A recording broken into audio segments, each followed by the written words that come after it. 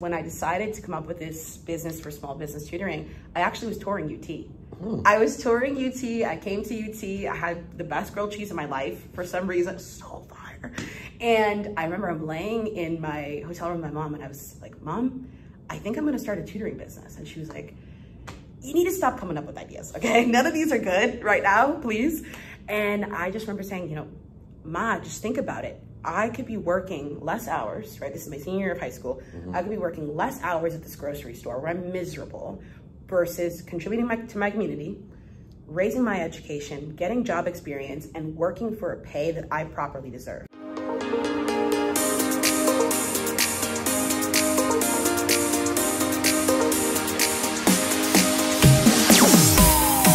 Back in the incubator with another bonus episode in this incubator series here on That Entrepreneur Show.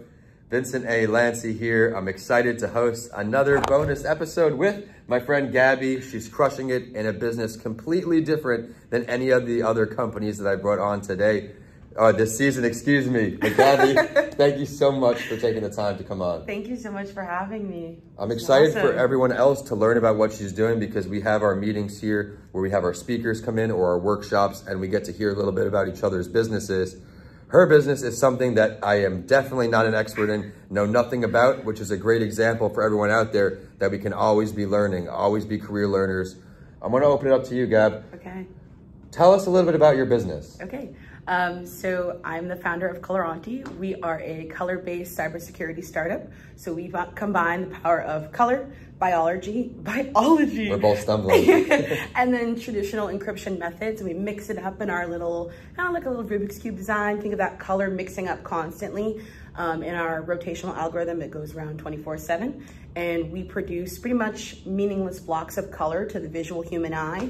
And it's actually people's most sensitive information, passwords, small details of that nature hidden in meaningless blocks of color. So those little cubes, think of like little cubes lined up in front of you, there's no labels on them, right? There's right. no plain text, there's no numbers, so how do you really know what it says, right? So we're using the advantages of the idea of hiding something in plain sight to protect your most sensitive information versus creating this big security tower that screams like, something sensitive is here, right? We'd rather hide you in plain sight than create a big opportunity for you to look like this, I don't know the word, this big beacon of opportunity from a hacker's perspective, I guess. So that's where we are. We're in development. Well, someone who's a, a noob to this world, yes, right? super scary words. Where does, um, like, how does all this work? Color, like hiding in plain sight, like, yeah. explain that a little bit to me. So using the color in plain sight um, method, how do I, I want to break this down. My team is always on me because they're like, you're such a high level thinker and you need to drop it down for the simple people. I'm like, mm. um, how do I explain this in a way that is a little bit easier? In terms of the hiding it in plain sight piece, hmm, I'm struggling. You might have to pause me because I'm nervous. I'll, we'll cut it out.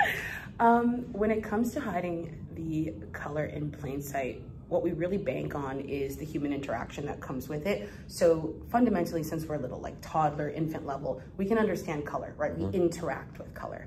So a computer being the high level concept that it is, polar opposite to simple humans, can also understand color. So we chose a modality in the situation, different shades of color, anything. If you go to Home Depot and you play with the paint wall, we're using all the colors in the rainbow right. as the modality between human interactions and technological interactions. The reason why we chose to use the plain sight concept mm -hmm. is mm-hmm. because color can blend into anything. It can move between anything your sensitive information can't do that, right? So having color as the modality in terms of movement and having your information that needs to be protected, it creates a parallel in the movement. So you can move two things at the same time where one acts as the cover and one acts as the real.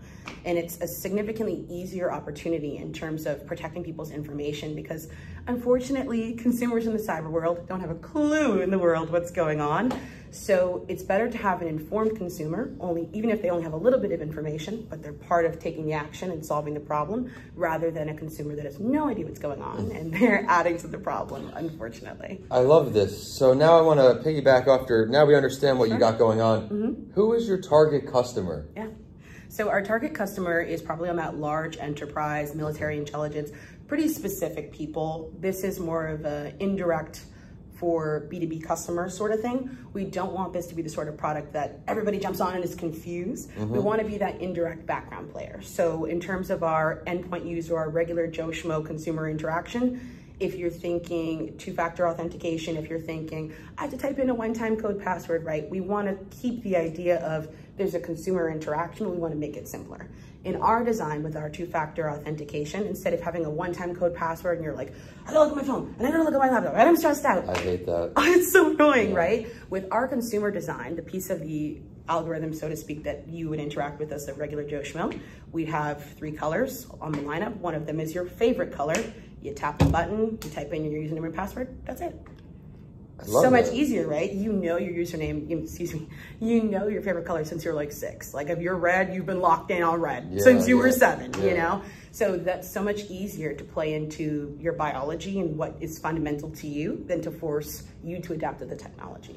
Right? Now, this may be a silly question, but do you have like every color on the color wheel as options or is it like red, blue, yellow? Every color on the color wheel, that Home Depot paint wall, she's the inspo, okay? we got it all and if there's not a color you like, you can make one up.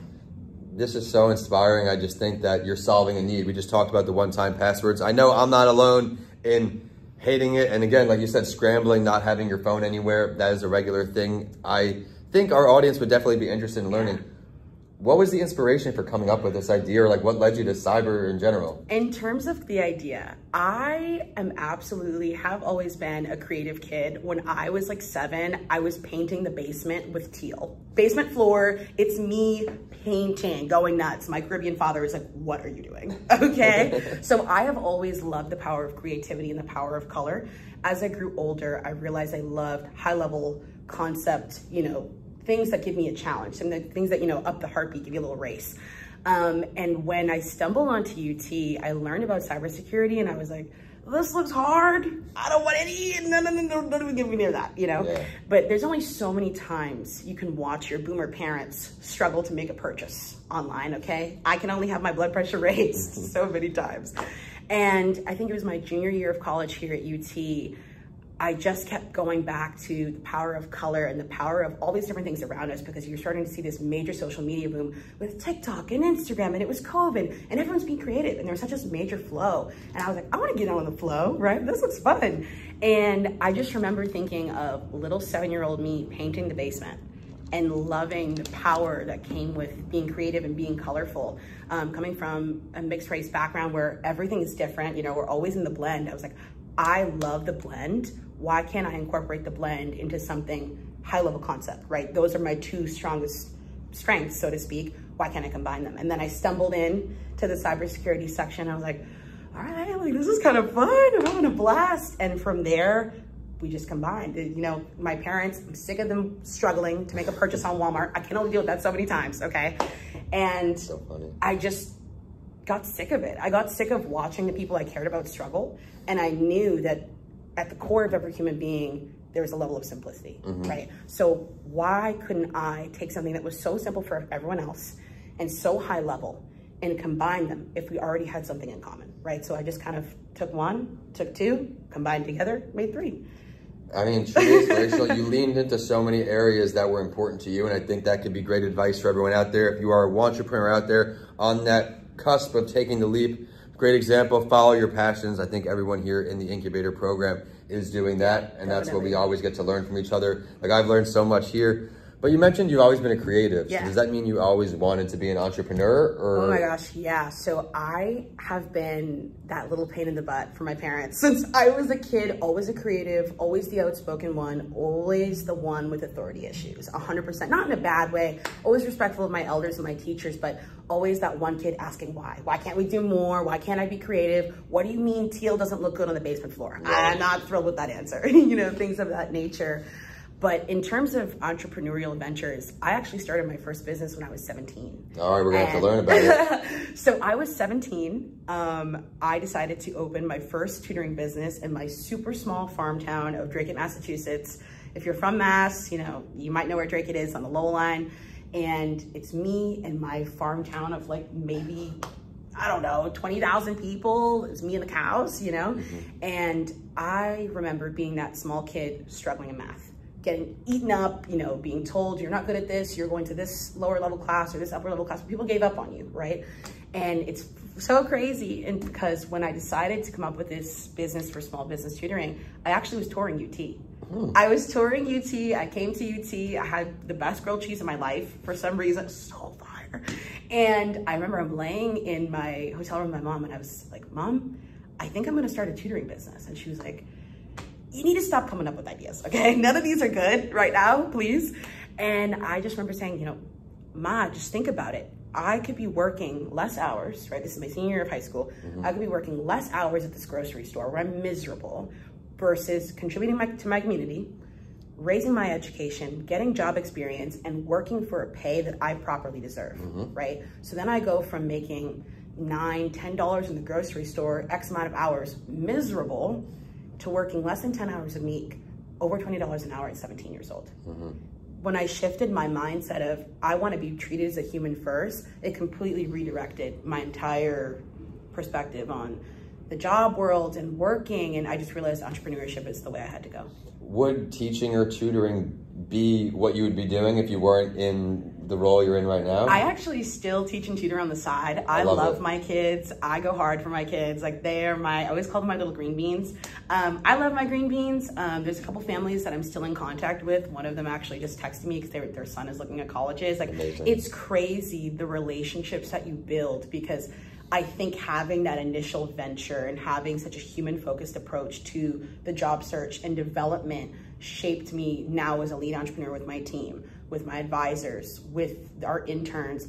We do everything human focused. There is no decision that's made on this team that does not focus on what are your needs first, right? So with my team, if we have a bad day or something's going wrong, I always tell them, you're not feeling well, you're having a bad mental health day, you're human first. Yeah. Do not come on to this team, do not show up to this meeting if you are not in the place to give 100% as a human version of yourself before you give me the professional.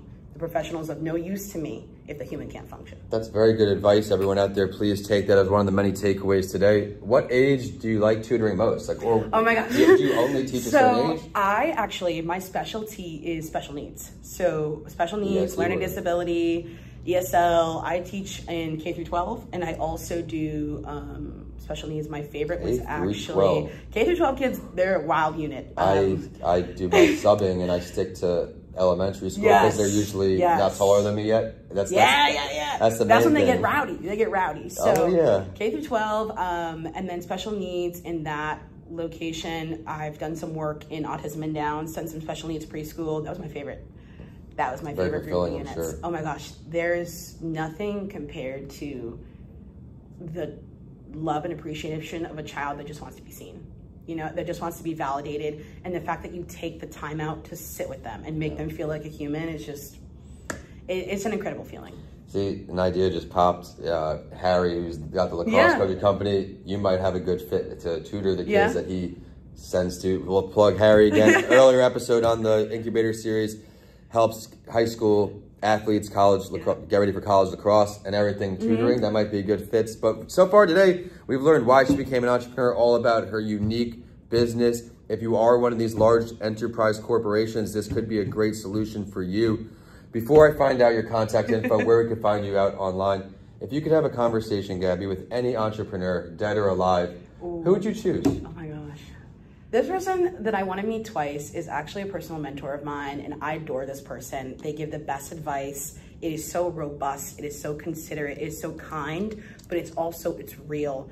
It's critical. And every single time I have a conversation with this person, I feel like I am leaving knowing more and am leading in a stronger way for my mm-hmm. team. So the person I would I would like to have lunch with, if you're seeing this, please I'll call you back. I'm sorry. Um, Benson Reisman. I love this man. One of my most dear personal mentors that I've ever had.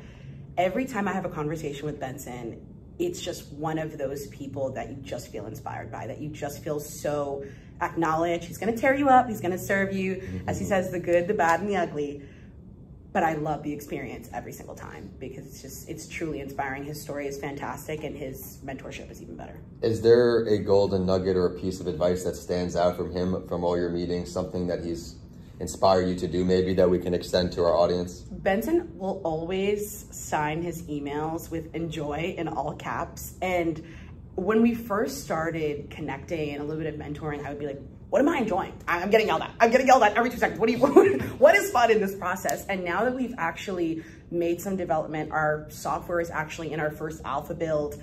I'm seeing what he means when he says enjoy because it wasn't about enjoy just the fun parts or enjoy what you can potentially capital raise. It's about enjoy the good, the bad, and, the ugly parts of every experience, every team interaction. You know, when my team and I have design days, sometimes they're 16 hours. We're straight through together, locked in a little room. It's enjoying the moments of laughter. It's enjoying the moments of building. You know, it's enjoying the human experience of the up and the down and the in and out and the twist like a roller coaster. So and that's that's my nugget. I love it. It's definitely a nugget everyone has to accept in entrepreneurship or entrepreneurship will eat you up and spit you out. There are a lot more bad and challenging moments than the few shiny moments that get publicized. And as she mentioned, 16 hours dedicated, not moving until she figures it out. That is what it takes to really be an entrepreneur sometimes Gab, I really want to thank you for coming on the show. Thank you so much Where for having can we find you online, website, social, LinkedIn? We are on LinkedIn at Coloranti, C-O-L-O-R-A-N-T, and then there's an apostrophe on the I or an accent mark, sorry, not apostrophe, special little accent mark on the I. You and I are friends on LinkedIn, so if you need to find me, you can go through him. Yep. Um, and then my name on LinkedIn is Gabrielle Brown, so sorry, I keep smacking into you. Hmm. G-A-B-R-I-E-L-L-E, and then Brown like the color. Um, and members of my team are also linked on there. We are always quoting posts of each other and being supportive. Always reach out. I'm a super in-person, super friendly person. Stop for coffee, stop to say hi. I'm always down for a little chat. Thank you for sharing that. Everyone, we are at the Lowth Center if you come finding yourself in the Tampa area. The show is at That Entrepreneur Show on all social media. And be sure to head to Vincent A. Lanci on YouTube and subscribe to me there for more video clips and episodes like today's show. If you're interested in joining the show as a show partner or want to learn more about book and podcast coaching that I provide, reach out to Danica at podcastsbylanci at gmail.com. And with that, we are signing off today here, both of us in the Lowth Center. Abby, thank you so much. Thank you so much for having me. This is awesome. you crushed it.